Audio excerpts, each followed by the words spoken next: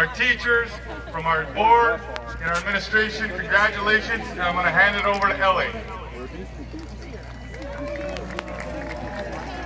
Fellow classmates, let us now signify our graduation by turning our tassels from left